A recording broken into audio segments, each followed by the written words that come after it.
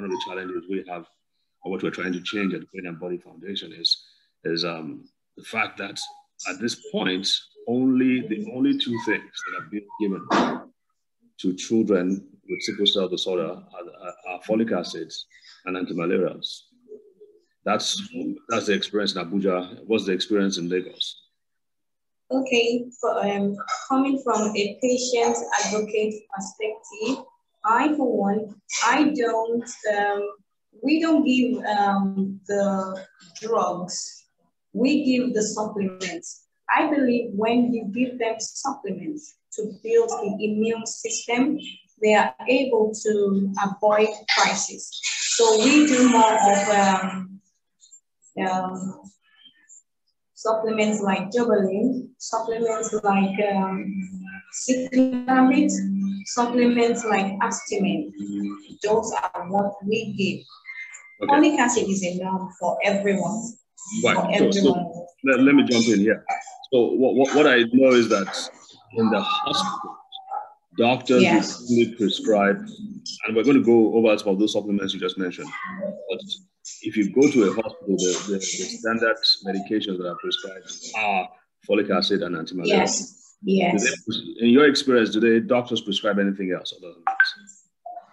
For me, yeah, um, that's the norm. Yes, malaria and um, this folic acid. Yes, they do that for me. It's always like that. But then when I have, when I have, when I say, okay, this is I think what I'm feeling is worse than is more than the medications you are giving me. And then they they sometimes they give me antibiotics. However, I've noticed, I personally have noticed that um, I don't, uh, my body does not work well with antibiotics. When I take it too frequently, I end up having crisis. It gives really? me crisis. So yes, if antibiotics gives me when I if I take one uh, capsule, I can go scot free or two.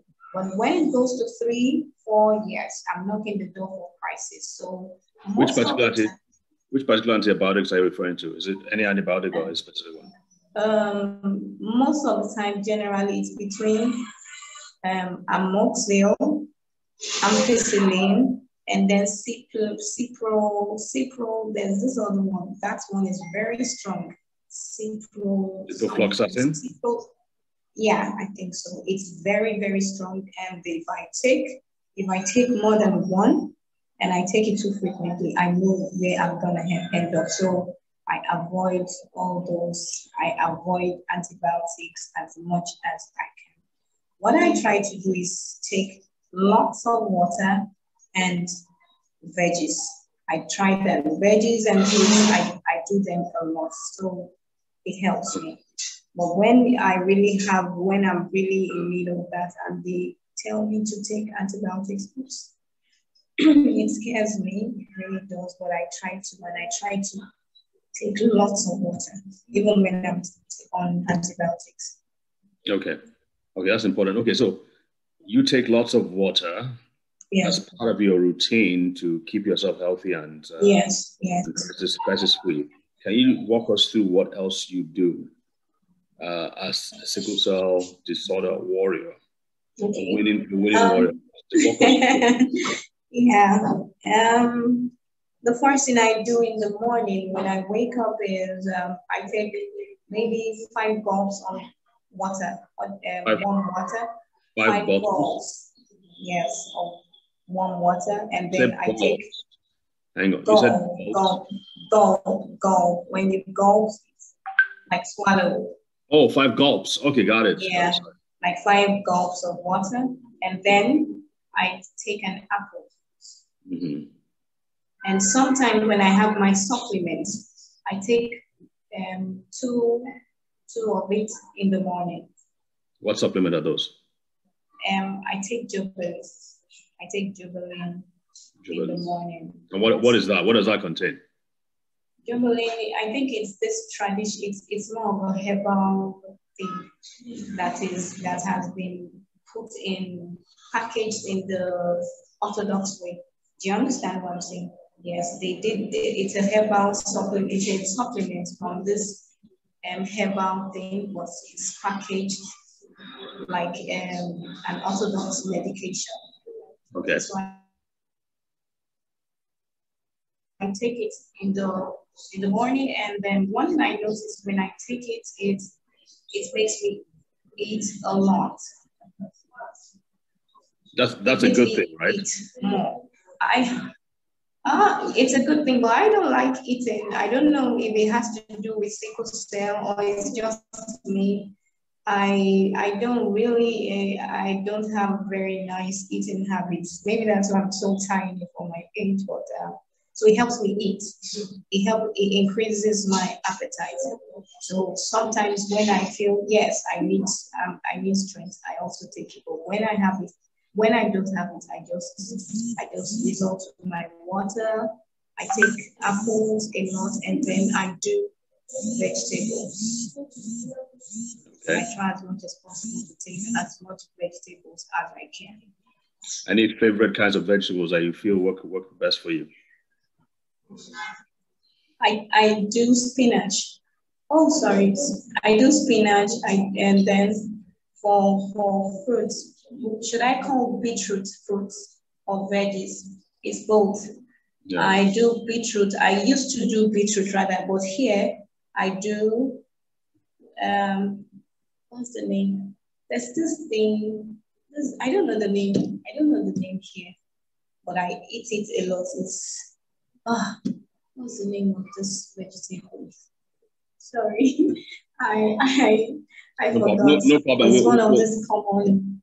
We'll, we'll get back to it, but you said it's one of this common veg.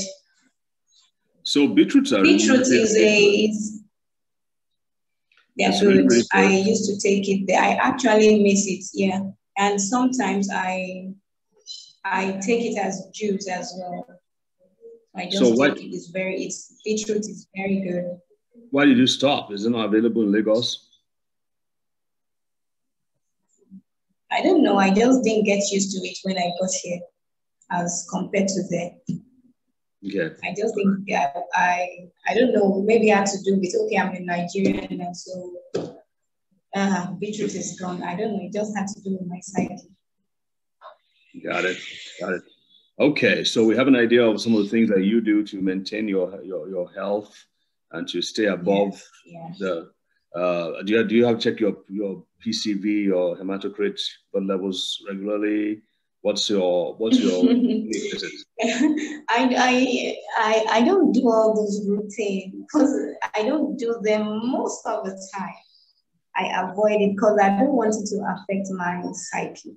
One thing I know about myself is um, the moment I have some news about my my status medically, it affects me, especially because I had I had a surgery I had surgery. I did gallstone, laparoscopic surgery with gallstone. So it affected me a lot. And I think since then, when it had to do with um, some, it affected me in a very funny way. So I'm kind of, I just try to stay, stay off crisis as much as I can.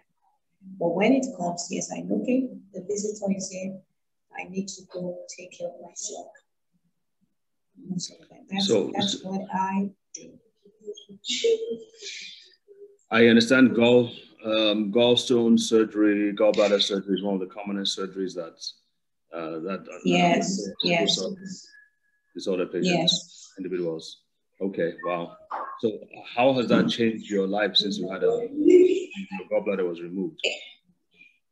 it, um, it got me it got me more serious in my intakes. I I was more I was more careful with what what I was eating. My eating habits changed a bit. It, it was it became better than what it used to be. I'm just someone who doesn't I don't like um I, I don't take meals seriously. I don't really eat. I, I just do the the sweetie, sweetie, sweetie things. That's me.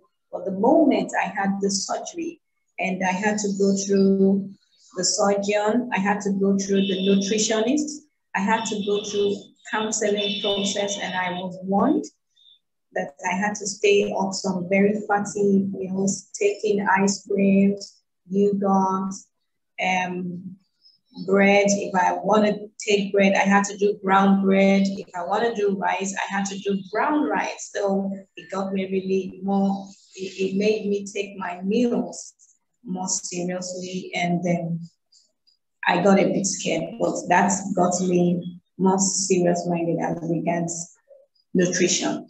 So it changed me. Wow. So this, I'm assuming this surgery was done in the UK? In South Africa. In South Africa. All right. So yes. this is this is when they warned you about all these different things to. yes, yes, yes. Did this specifically mention any African or Nigerian foods specifically that you should stay away from? Something like maybe egusi. I didn't get that. What did you just say? Did they warn you against taking something like? No, no, no, no. They they they told me to take more more veggies, more hmm. vegetables rather, more vegetables, and hmm. stay off oil and anything oily, okay. fatty, fatty, oily. Avoid bread. If I was gonna eat bread, it has to be brown bread. If I was gonna eat rice, it had to be brown rice and then wheat or wheat bread. And then I couldn't take sugar anymore. I had to use sweeteners. And mm. then if I was gonna take um, juice, it had to be 100% juice. No nectars and all of that. I, I was really on a strict um, timetable or, or should I call it eating table. So, so, so no preservatives, no uh, nothing. Just avoid all the. If you're gonna do it, do the colorings. real. Yes, yes, yes, yes.